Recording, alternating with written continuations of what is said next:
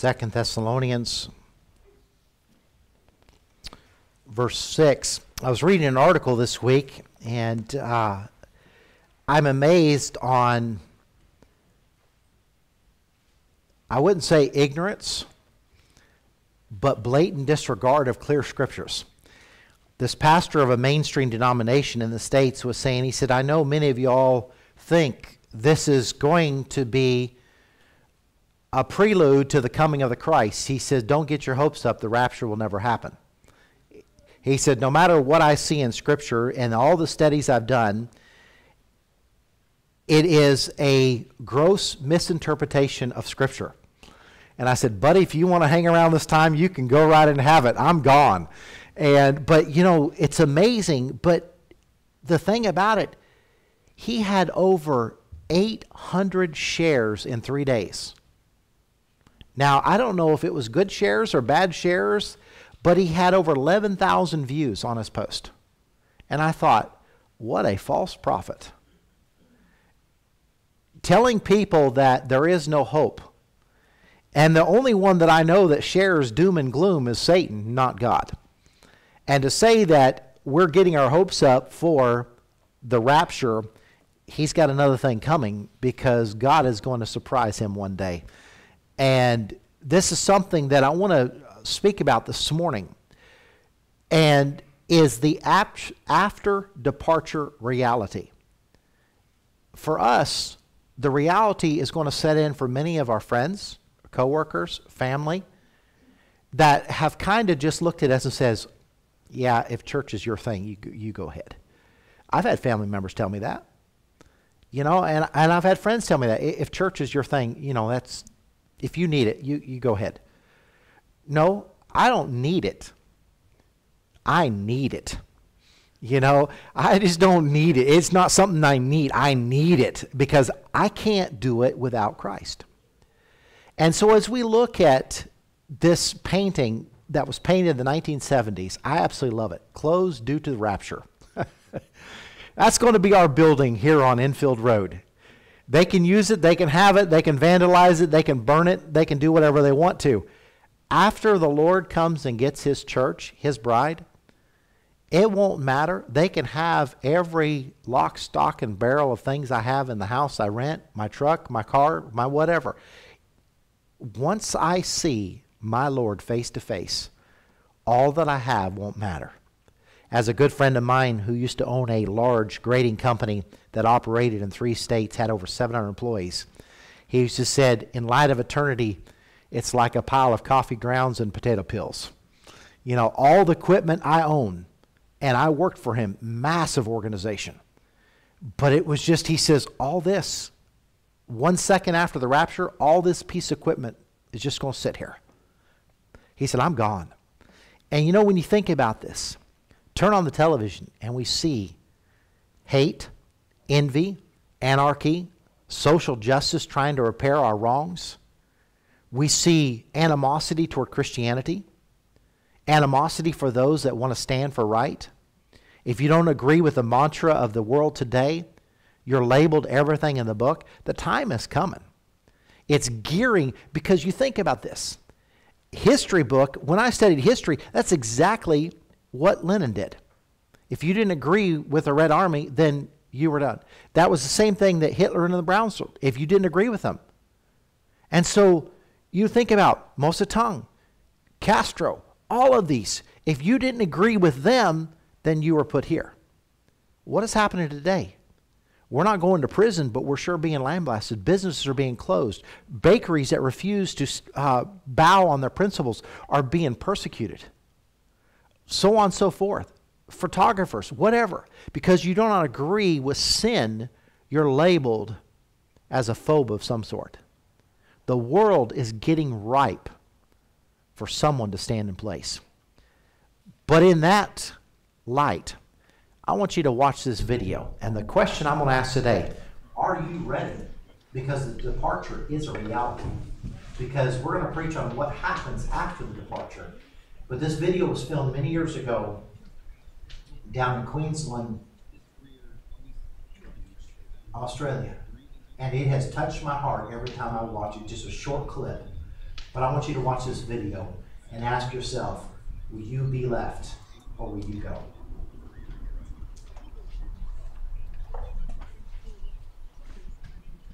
Jesus Christ is coming back for his church. The Bible says in Matthew chapter 24, verse 42, Watch therefore, for you do not know the hour your Lord is coming. I want you to know, church, that Jesus Christ could come this month, or he might come next week, or he could even come.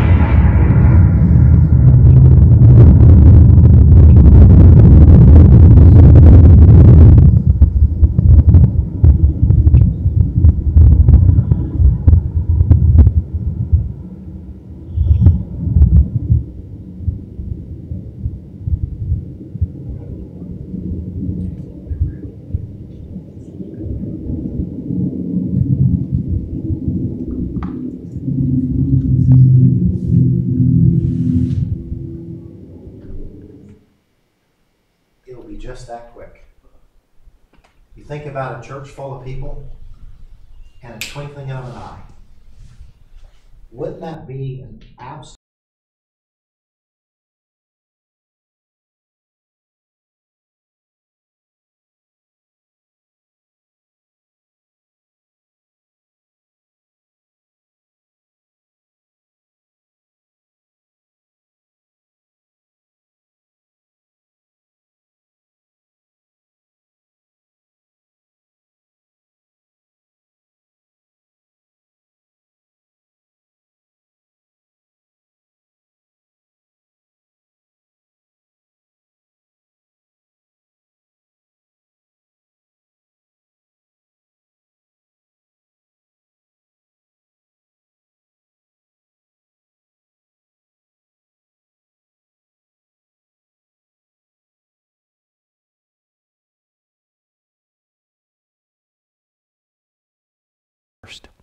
I wonder how many graves out here will break open. And how many graves will be left all across this great nation. I believe far more earlier graves will open than later graves because our nation was more godly centuries ago. But those of us that are alive, can you imagine never facing death? We'd be like Elijah and Enoch. We walked with God and was not. And Moses. Think about God Himself being your undertaker. Buried by God. What a, what a privilege. As I look at the scriptures and I look around on the news around us and I look at the society and men and women's mentality, I can see how easily someone can easily say, I have the answer, and they'll follow. You think about what we've been going through. Everybody, including myself, we need to stay inside. We need to wear masks. We need to this, and we do it. Can you imagine if someone far more persuasive than Justin and anybody else in the world says, I've got the answer to all of our political problems, all our financial problems, all starvation problems, all of health problems. We and this is where Second Thessalonians comes into play. Look in verse 6, please. And now you know what withholded that he might be revealed in his time. For the mystery of iniquity doth already work. Isn't that the truth? Iniquity already is in play. Amen? Only he who now letteth will let until he be taken out of the way. The Holy Spirit has to be removed. And then shall the wicked one be revealed, whom the Lord shall consume with the spirit of his mouth and shall destroy with the brightness of his coming. Talking about the day of Armageddon. Even when, even him whose coming is after the working of Satan with all power and signs and lying wonders, and with all deceivableness of unrighteousness in them that perish, because they receive not the love of the truth, that they might be saved. And for this cause God shall send them a strong delusion, that they should believe a lie, that they all might be damned who believe not the truth, but had pleasure in unrighteousness. Hold your finger there and turn over to Revelation chapter 12, please. Revelation chapter 12. We're talking about when the church is removed, a man steps in the place of the Holy Spirit, steps in the place of God, and says, I am him. That's why he's called the Antichrist. But notice, the people that have rejected God, have dismissed God, have loved unrighteousness more than righteousness, they are now given over by God to a strong delusion to believe a lie. In other words, they will not know the truth if it slapped them beside the face. But look what it said in Revelation chapter 12, verse 11 and 8, 11, 11 and 18. And they overcame him by the blood, blood of the Lamb and by the word of their testimony. They loved not their lives unto death. Therefore, they rejoiced, ye heavens, and then dwell in them. Woe to the inhabitants of the earth and of the seal, for the devil is come down unto you, having great wrath, because he knoweth that he hath but a short time. The devil is going to have a field day. And I want you to see the last part of that verse. Not only are they going to face the wrath of the devil, but they're going to face the wrath of God, which is far more. The devil does not care about humanity. He knows his time is short. He devil uses men and women as pawns. Just like we see on the television. The news media flips quicker than a flip card. I mean, they go from one thing to another to another to another, trying to stir up this. Who do you think is behind that? The devil wants to incite riot. He hates people. Who do you think puts in the heart to murder, to steal, and to kill? It says the father, of the devil. But you notice in Second Thessalonians, it said something really profound that they would not receive the love of the truth. Isn't that great? We need more evangelists. We need more people that are not afraid to say, John 3:16 for God so loved the world. The love of the truth it saves. But people are like I don't want that. If that church is good for you then that you do what you want to do. But I don't need religion. I'm hearing that more and more as I talk to people. I don't need religion. It has caused so much problems in the world. Isn't that the devil's lie? And this is where you look at reality is the world is being marched to the devil's drum.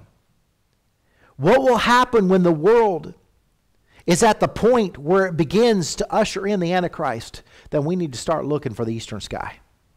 We need to start looking and say, Lord, is it today? And we need to live every moment of every day witnessing and telling someone about Jesus Christ because you never know who's going to be left behind. And the reality is the departure is sure. No matter what charlatans say, the Bible is true. Until someone lives it and gives their heart to Jesus, they never know how good God is, how faithful He is. And this is what's exciting about knowing that we may be the ones living in the last times we may be the ones that never will see the hearse. That wouldn't that be great?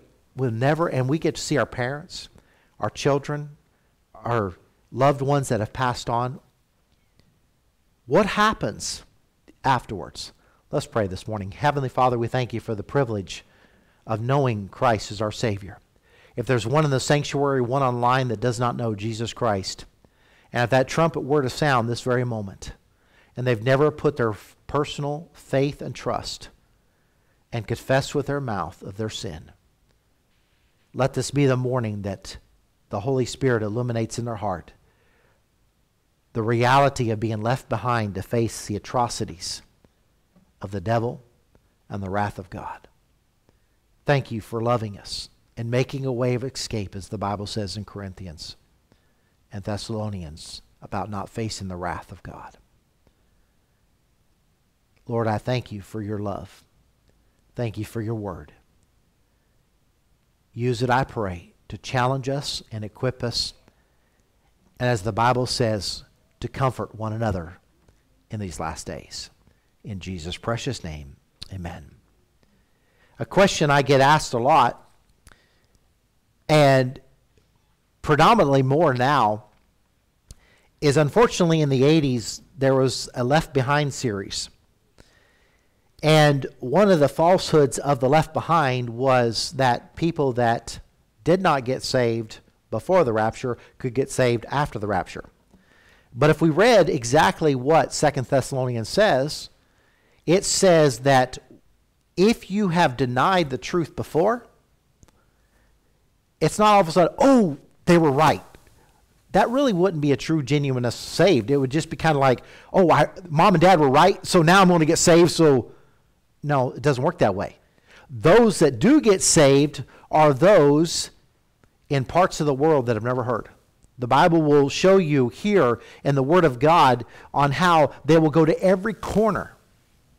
Do you realize we have missionaries in parts of Belgium and talking to people that have never heard the name of Jesus? We have people in Italy, predominantly Catholic, but they've never heard the real Jesus. Think about all those. What about, I've got friends in Indonesia. I've got friends in South Africa and other places, in places that most people don't go. There are 7.5 billion or 7.7 billion people. And when they say, when you look at Wycliffe and others, that only a third have the gospel in their language, isn't that, that's almost depressing. But you see, we have a lot of work to be done. But God anoints 144,000 to reach and protects them to where the beast and the false prophet, it says, fire cannot touch them. You can imagine the wrath of the devil as they're going around telling about the kingdom of heaven. But they can't be touched. People will get saved, but unfortunately, it's not those that knew it before the rapture. As the Bible says here and with all deceivableness of unrighteousness in them that perish, because they received not the love of the truth, that they might be saved. And for this cause, God shall send them a strong delusion that they should believe a lie. God's going to send because they refused to accept Christ, because, oh, that was mom and dad's faith, or that was grandma and grandpa's faith, that was uncle and aunt's faith, oh, that was my neighbor's faith. That's not for me. You look at the last few years, how many movies about zombies and aliens and everything like that, and, and how alien abduction, how do you think they're going to explain? Let's say, let's round it off to a billion Christians disappear across the world. How are they going to explain pilots disappearing out of the planes? How are they going to explain taxi drivers disappearing? How are they going to explain doctors in the middle of surgery going, Doc, Doctor? Where you at? Or how do you explain babies gone? How do you explain this? There was an alien abduction. Because they're spending billions of dollars to find the uh, extraterrestrial in the world, somewhere out there, and the Bible says there was only one planet. However, they want to prove who do you think's behind this? Think about all of the weird creatures they're coming up with on the movies. They're desensitizing everybody. I don't know what the devil's going to pull, but when I read Revelation, there is some pretty interesting stuff that is plagues and things like that. Whether it's reality, whether it's figurative, we don't know all of it. But we know that a lot of the Bible speaks in a figurative. And we know that some of these creatures and things, we know that the Bible says a third of the world is going to die. It says that it's going to get so costly, famine is going to cost a day's wage for a loaf of bread. I don't know about your grocery bills, but mine's gone up considerably over the last few months. But do you think about this? What will this world accept? They want to accept an answer. Who's going to bring them all together for all the disappearance of mankind? Somebody has to bring them together. Somebody has to bring peace. Somebody has to bring and the Bible says he does have peace for a short time, even peace with Israel. One of the hot topics of every prime minister, every queen, and every king across this world is peace in the Middle East. I haven't seen it yet. Some have even got Nobel Peace Prizes for bringing peace to the Middle East. I haven't seen peace. Have you seen peace? But the thing is, they want peace. I was laughing the other day, and it said that the world is memeing the world, um, what do you call it, Miss Universe pageant. They all say we want and world peace. Yeah, that's a figurative speech, but we know it's not going to happen until God allows the Antichrist to have this time of peace. But it's very short lived. And then he reneges on Israel. And then basically, as John Phillips said in his book, all hell will break loose on earth. To the point where the Bible says men will cry out for rocks to fall upon themselves.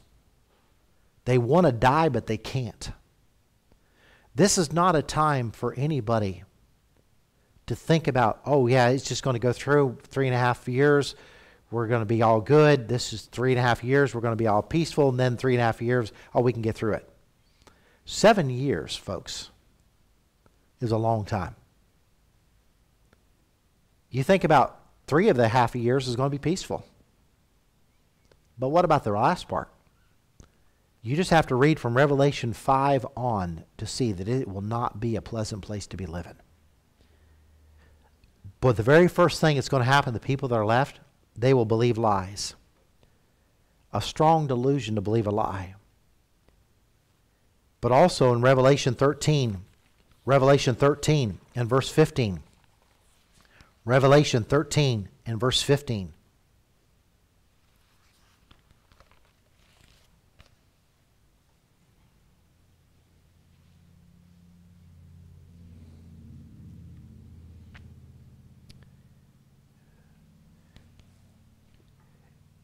And he hath power to give life unto the image of the beast, and the image of the beast should both speak and cause that as many would not worship the image of the beast should be killed. Verse 16 And he caused all, both small and great, rich and poor, free and bond, to receive a mark in their right hand or in their foreheads, and that no man might buy or sell, save he that hath the mark or the name of the beast or the number of his name. Here is wisdom. Let him that hath understanding count the number of the beast, for it is the number of a man, and his number is six hundred threescore and six. They're so willing to follow him. I don't know if many of you followed, but um, Bill Gates wants to develop a coronavirus vaccine. But he said the best way to do to know who's been vaccinated is to have a chip in their hand. Hmm, interesting. I better be run by Microsoft too. But he said that's the way that way we cannot go in and out of stores or in and out of public places without having our hands scanned to say we have the vaccine. Who said that was a great idea? That way everybody can travel through the world and know who's been COVID free or not. Folks, my Bible says that um, only those that deceive and believe a lie will have a mark. There is nothing going in this hand or this forehead or anything else that will tell me who I am. I'm not a part of that crowd. And you know what? A interesting article I read this two weeks ago, and it was a black pastor in Dallas, Texas, and he says, you know, that would be called electronic slavery. In my bad days, before God saved me in a federal penitentiary, I had to wear a tracker on me that told the government everywhere I went when I was on parole because of the things I did. He said, even though I was free, I was not. He said, because if I went out of the boundaries of my parole hearing, there was a call on my cell phone and said, You're out of your area. You need to go back into your area. He says, if people don't believe in slavery, what do you think this is? You can't buy bread, you can't shop, you can't do this, and now we can't go anywhere if we don't have a coronavirus and a chip. He says they're trying to desensitize. Oh, for health, we'll do it. Yes, oh, yes, please.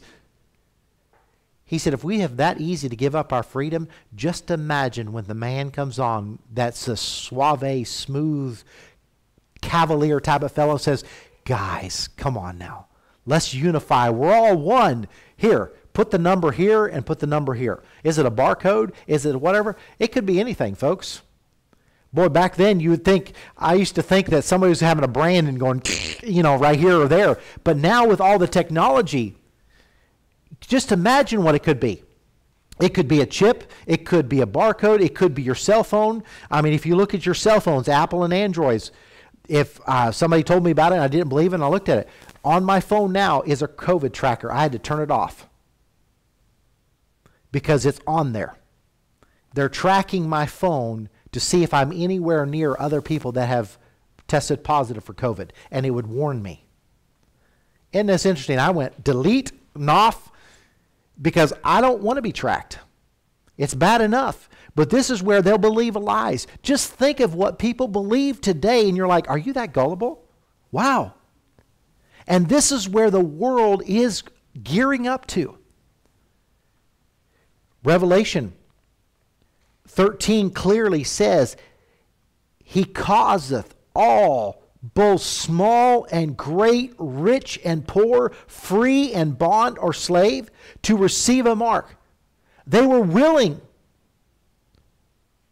Why? Because God had given them over, because they have rejected the sound truth of love and the gospel, and now they're willing to say, Well, I got to have a job, I got to have this. So everything, you see how people justify things today? I'm unbelievable how people justify their actions. Well, you don't understand. Well, I've got to do this and I got to do that as they all say, sheeple. We're just a bunch of sheep. And whatever someone says, oh, yeah, that sounds like a good idea. I love it when a friend of mine said, I'm going to preach a message one day on the death of common sense. What, a, you know, think about this. Is salvation important to us? It should be. Because after the rapture comes, if we have had the opportunity to be under the sound of the gospel, or be witnessed to, or have heard the gospel, the Bible says after we're beginning into strong delusion to believe a lie. Therefore, what the Bible says basically they're unable to accept Christ if they have not been before the church had been farted. But you think about the second part, we've been covering a little bit. They will be numbered as slaves for accountability. Revelation chapter 14, verses 9 through 11. Revelation 14, 9 through 11. And the third angel followed them, saying with a loud voice, If any man worship the beast and his image, and receive his mark in his forehead or in his hand, the same shall drink of the wine of the wrath of God, which is poured out without mixture into the cup of his indignation. And he shall be tormented with fire and brimstone in the presence of the holy angels and in the presence of the Lamb. And the smoke of their torment ascended up forever and ever. And they have no rest day or night who worship the beast and his image, and whosoever receiveth the mark of his name. Here's what happened those that become a slave to this new leader.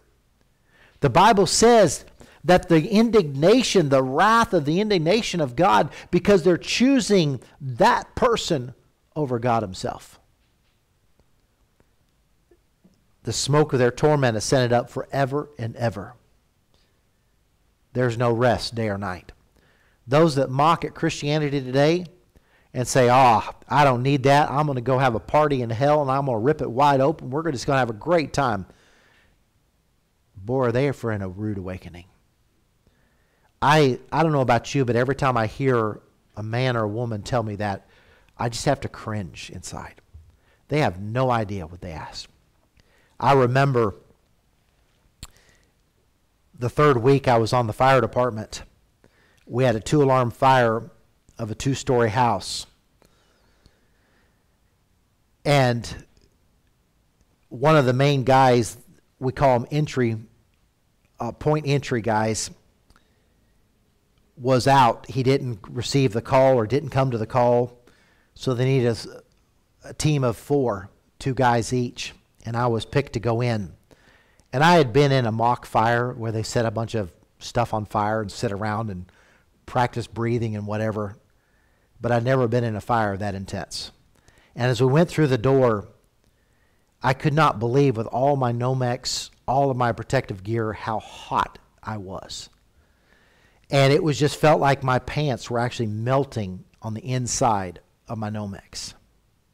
And the guy I was with was a associate pastor in Winder.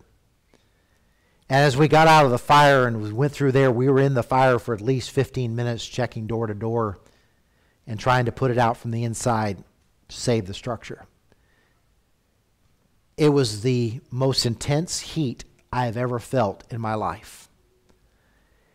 And the worst was the flames all around you. You're literally covered in flames.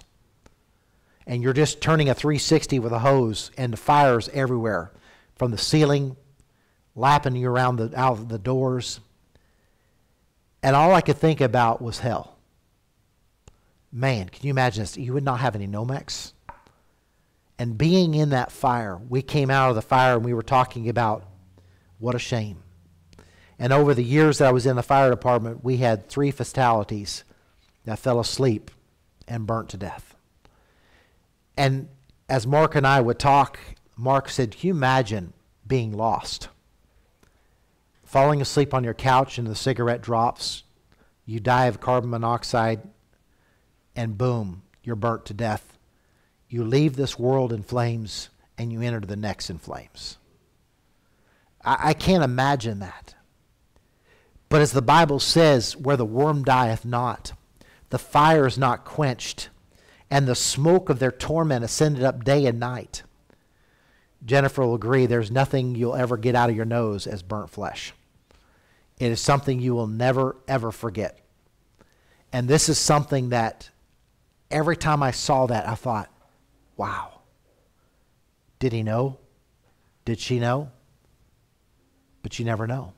Time is short for everyone. But the Bible says here that those that are willingly following the Antichrist and his leadership, God's wrath will be against. But notice in Revelation 19 and verse 20.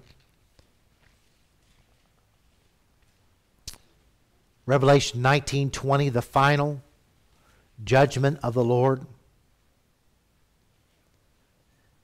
And it says, And the beast was taken, and with him the false prophet that wrought miracles before them, with which he deceived them that had received the mark of the beast, and them that worshipped his image. These both were cast alive into the lake of fire, burning with brimstone. Notice how the caption says here that deceived them. They're a great deceiver. They deceived all of those causeth them to receive the mark of the beast here and here. He's smooth. Well, guess who the leader of it all? The devil. He has been practicing deception since the day one. He did it on Eve. He's done it, he even tried it on Christ. Now come worship me. Even convinced Peter, because the Lord says, Satan, get thee behind me. You don't need to go to the cross. Let's fight it out. Oh, wouldn't Satan love for God not to go to the cross? God's Son go to the cross. Thirdly, I want you to see after the departure of the church, the world will believe a lie. Majority of the world, not all, majority of the world will be numbered as slaves for accountability. If you don't believe it, every prisoner war camp had some type of numbering. The Japanese used little leaflets. The Israel, um, the Germans used tattoos. The Russians used tattoos. The world system has used different ways to number their people. You think about what our world's capable of now and how we can pay with our phone, we can drive by, we can tap with our cards. All convenience. But it's leading up to something more sinister. But thirdly, the rest of the world will suffer unimaginable hardship for rejection of God's salvation. And as the Bible says, and the wrath of Satan. What a double whammy. We have the seven seals, the seven trumpets, and the seven vials. The seven seals in the Revelation 6, the Antichrist, the false Prince of Peace. We have war. We have famine. We have death and more death. We have this trumpets. You think about this. A third of the trees and grass destroyed, a third of sea life destroyed, a third of fresh water poison, a third of the moon and stars will be darkened. Then you have a fo- uh, first woe, locusts. Second woe, fire and brimstone. A third of the per- people left are killed. And then you have the earth and heaven shaken with earthquakes. Then you have 144,000 sealed where the devil himself can't touch it. And then you have the prophets raised back to life in front of all. Once again, when I was younger, I never could understand how they could see, where the whole world could see these two prophets raised back to life. Now I know. Instantaneous, Instagram, Facebook, everybody can see it. But you think about this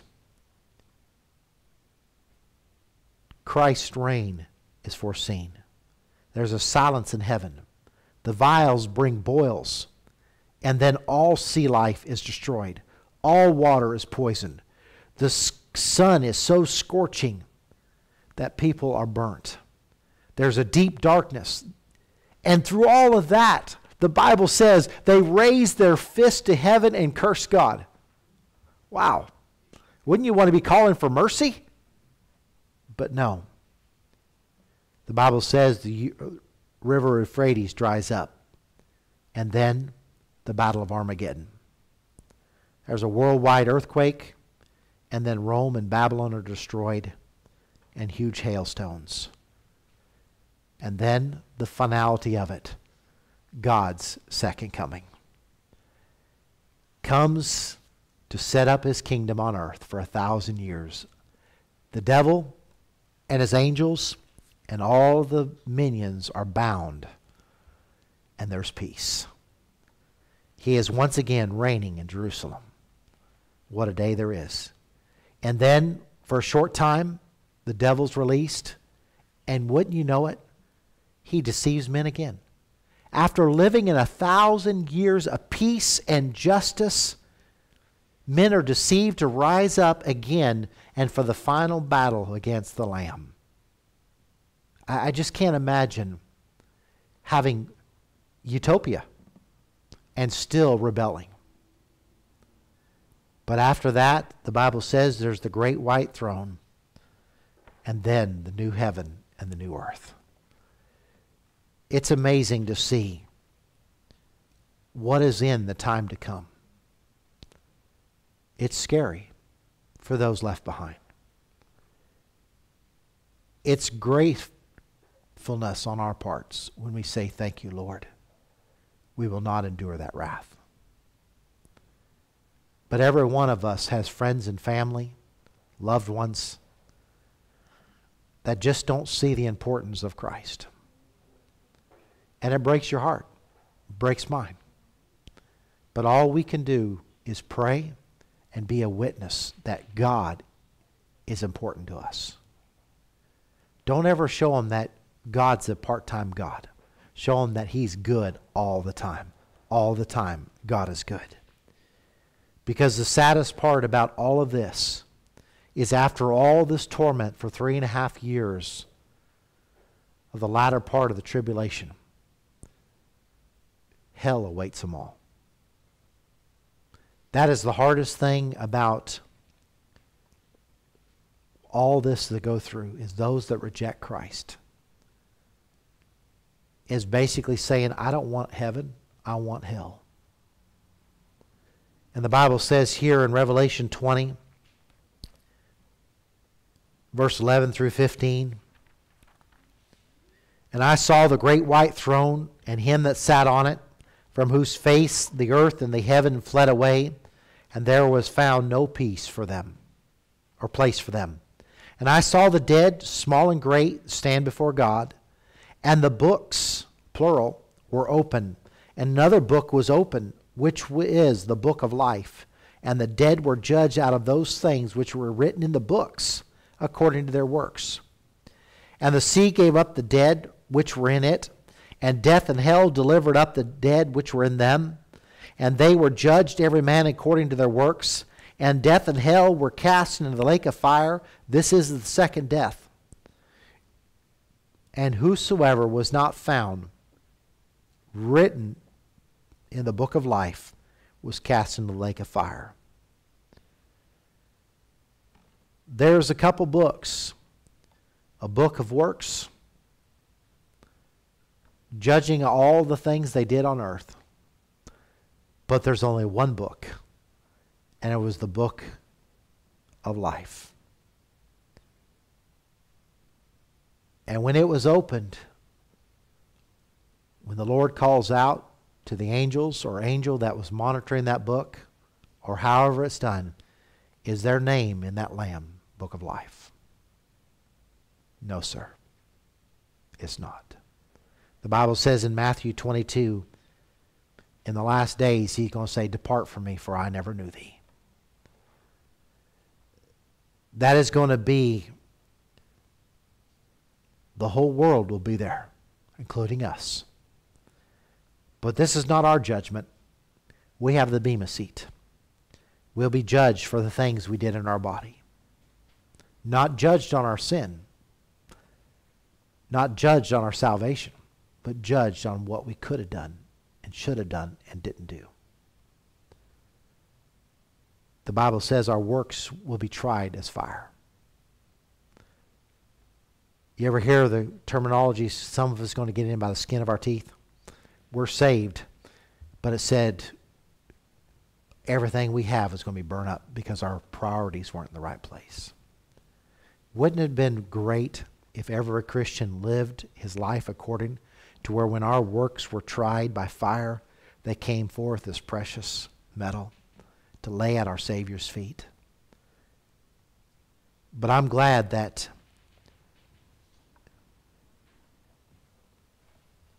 God is merciful and new mercies are new every day.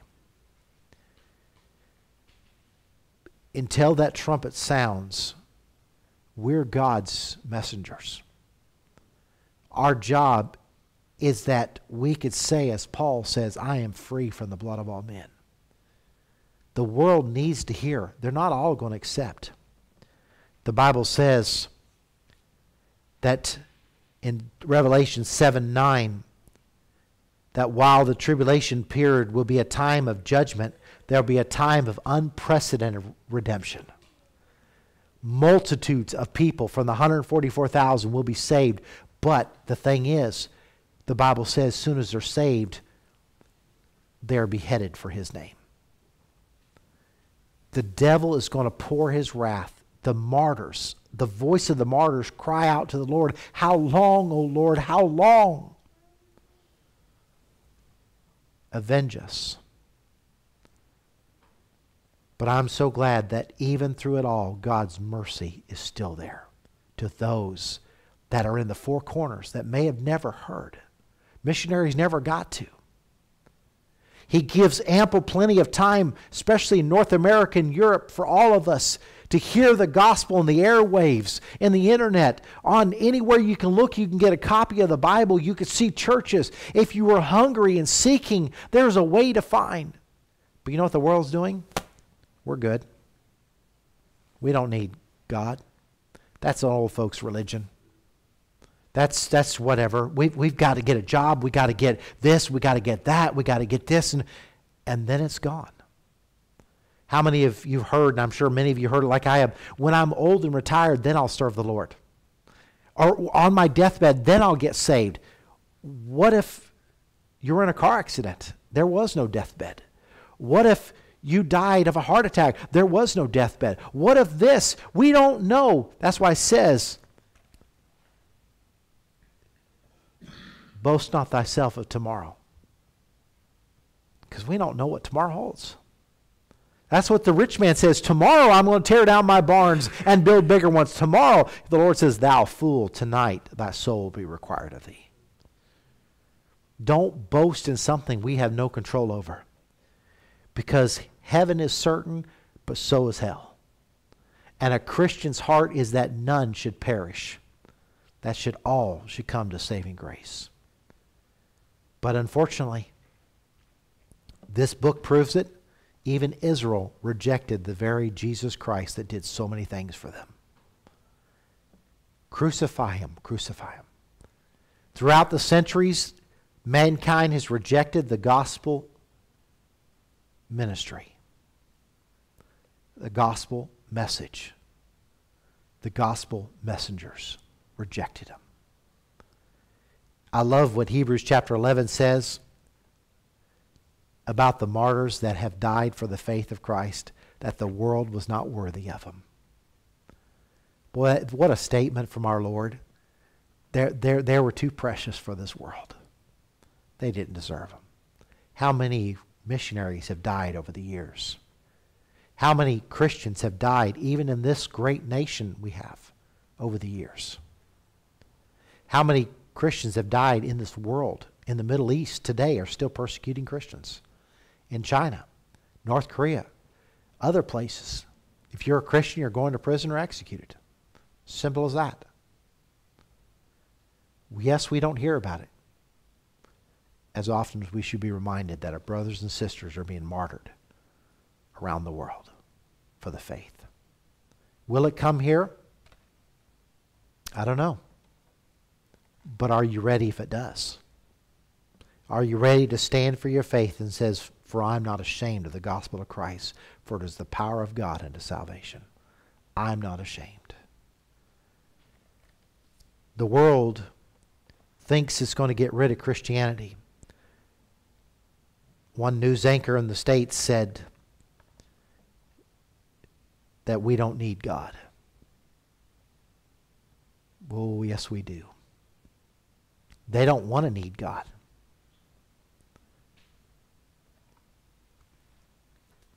but the world does need God. Christians, as we ponder the after departure reality, once we leave, the world will be believing a lie.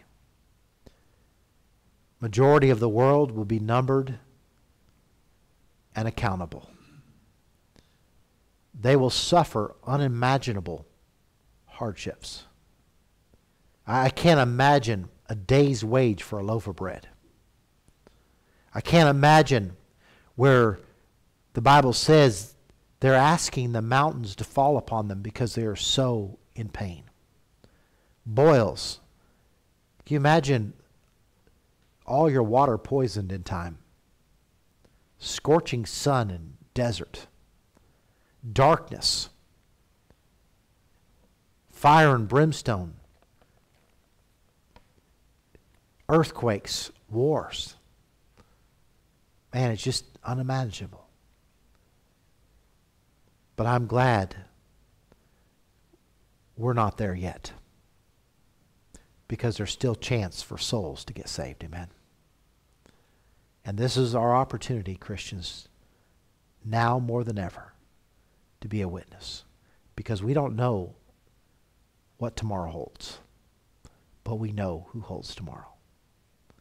And while the Holy Spirit, the Bible says in Genesis chapter 6 that even God Himself, before the flood of man, said, The Spirit of God will not always strive with man. He's not always going to be here. So let's be, as Hebrews says, let's not harden our hearts as in the day of provocation. Now is not the time to get calloused. Now is the time to get sensitive. and realize that we may be living in the last days. This may be the last moments. As we saw that short clip, we're not going to get a email that says, "Hey, be ready, I'm coming." The Bible says he's going to come as a thief in the night. And twinkling of an eye, we're gone. Are you ready this morning? If you're not, I want to implore you, beg you, plead with you. Now is not the time to put off salvation. If you don't know Jesus Christ, your personal Savior, Corinthians says today is the day of salvation. Being a church member, knowing God, reading your Bible, doing all that is great. But if your name is not found in the Lamb's Book of Life, you will not go when he comes to get his church. No matter how religious we are, no matter how much we know God, if you don't know for sure that Jesus Christ is your Savior and you have confessed your sin, the Bible says, unless you repent, you will likewise perish. It's important. It is important, we know. The Bible says in 1 John 5 13, these things are written that you may know. Not hope so salvation. Might so, maybe. No, these things are written that you might know. And I hope you know this morning. If not, I want to encourage you to come see me, email me, message me, or call me. And I want to take the Word of God and show you how you can be saved today. If you know you're saved and you know you're going to be in that number when the saints go home, are you doing everything you can to be the messenger, ambassador during these last times? During these uncertain times, I should say. The world needs to hear, needs something more than fear. They need hope. And that hope and joy is found in Jesus Christ. For he is our rock and our salvation and our ever present help in time of trouble. Amen. Let's pray this morning. Heavenly Father, Lord, I ask you that you would just lead, God, and direct in our days. As the Bible says in Ephesians chapter 5, redeem the time for the days are evil. Help us to redeem every moment, every second of every day, to share the faith of Jesus Christ, of the transformation he did in our hearts Lord, I thank you for what you've done and what you're going to do. Lord, if there's one online, there's one in the sanctuary that does not know Jesus Christ as their personal Savior and never made a personal calling and repenting of their sins, let this be the morning that they call. Lord, thank you for reminding us as Christians of the glorious days ahead, but the dark days ahead for the people that we know and love. And Lord, I ask you that you would just lead, God, and direct in our hearts that we would do our best to take every opportunity to witness and challenge people. Do you know my Savior? Thank you, Lord, for reminding us. Thank you, Lord, for challenging us. In that we give you all honor and glory. Dismiss us with your blessing, O Lord. Lead, guide, and direct in every day. Bring us back this evening at 6 as we continue to look at the great deceiver himself. In Jesus' precious name, amen. Thank you so much for being here this morning. May the Lord bless you. Looking forward to seeing each and every one of you online and here tonight at 6 o'clock. And uh, if you don't know Jesus Christ, your personal Savior, today is the day to know. Lord bless.